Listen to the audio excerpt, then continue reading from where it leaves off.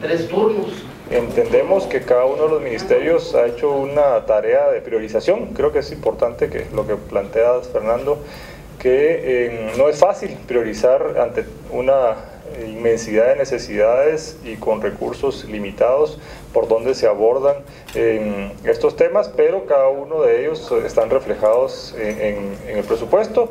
Entendemos que le hemos, hemos trasladado la prioridad que el presidente nos ha dado de una reactivación económica en el fortalecimiento del Ministerio de Comunicaciones y en términos de desarrollo humano para el Ministerio de Salud y el Ministerio de Educación.